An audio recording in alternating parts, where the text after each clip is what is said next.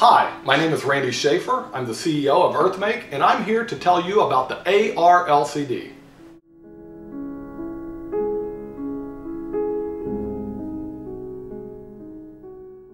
The AR LCD is better than a, an Arduino and an LCD Shield because we combine two boards into one, making the overall product thinner. Most LCD shields are 2.8 inches, while the AR LCD is 3.5 inches, giving you 64% more screen area. Unlike conventional LCD shields and an Uno, the Arduino LCD takes less resources by using only three pins and no memory for bitmaps or fonts. A built-in 4 megabyte flash drive stores bitmaps, fonts, and graphics.